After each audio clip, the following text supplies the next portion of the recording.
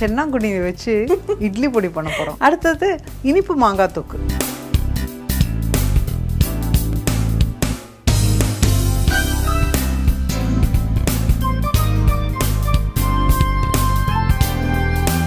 ரொம்ப சூப்பராக இருக்கு அண்ட் டிஃப்ரெண்ட்டான டேஸ்ட்டாக ருசிக்கலாம் வாங்க. நாளை மதியம் ஒரு மணிக்கு நமது புது யுகத்தில்